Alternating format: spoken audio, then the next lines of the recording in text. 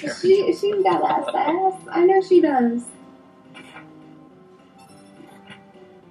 Dude, I want one of her cakes right now so bad. I want cake.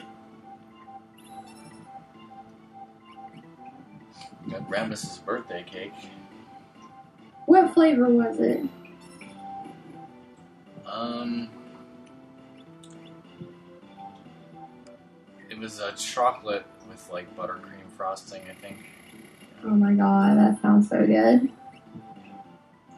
Buttercream frosting is like the best because that I made a cake and like I just used vanilla icing. It didn't taste like anything. There was like no flavor. It was bad. Wow, do you see this? Like, Sarah has this relic on that's protecting Jams, taking the hits for him because he's low on health. Man, I'm such a good person in the game. Plus, you're like completely nullifying the enemy's magic with your sword.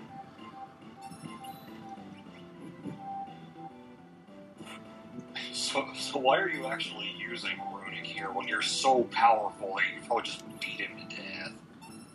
I didn't even think of that. I'm, I'm like, the game wants me to, to use runic. I, I, I could probably kill him with one magic, is what you're saying? Alright, let's do that. Whoa, he just did.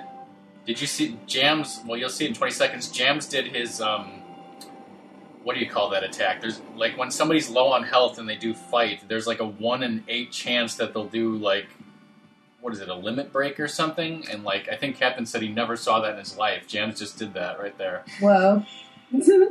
Yeah, so that, I think That I think cool. the proper term in this game is desperation attack, but yeah, Yeah. it's basically the same thing as a, a limit break.